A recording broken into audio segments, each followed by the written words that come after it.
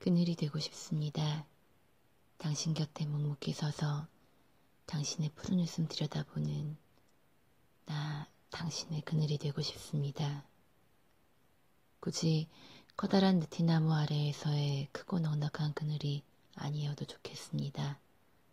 키 작은 은행나무 아래에서나 나지막한 담벼락 아래 그저 당신의 지친 하루를 잠시 쉬어가게 할 수 있다면 나 무엇으로든 당신 곁에 있으면 좋겠습니다. 그늘이 되고 싶습니다. 나 당신의 그늘이 되고 싶습니다.